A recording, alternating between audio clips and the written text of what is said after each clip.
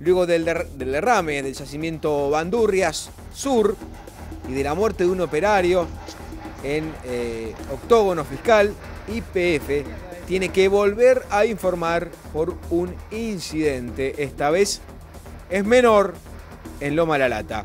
El hecho mencionado se trata de una surgencia de gas y lodo de perforación que ocurrió el viernes mientras se realizaban distintos trabajos de terminación work-over de un pozo convencional.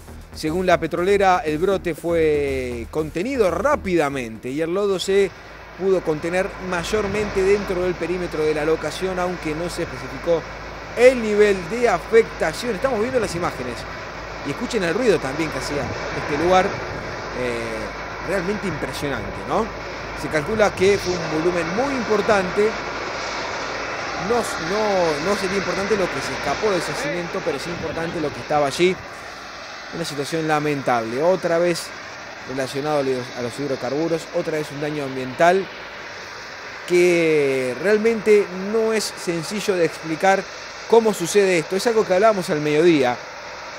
No es fácil acceder a la información de lo que sucede en estos yacimientos porque están, bueno, muy alejados de las zonas urbanas y también es muy complejo ingresar hasta ese lugar. Solamente personal autorizado se suele mantener en muchísima reserva lo que sucede y salvo que se filtre un video como en este caso, es prácticamente imposible eh, tener mayor información y mayor dato de lo que pasa en esos lugares.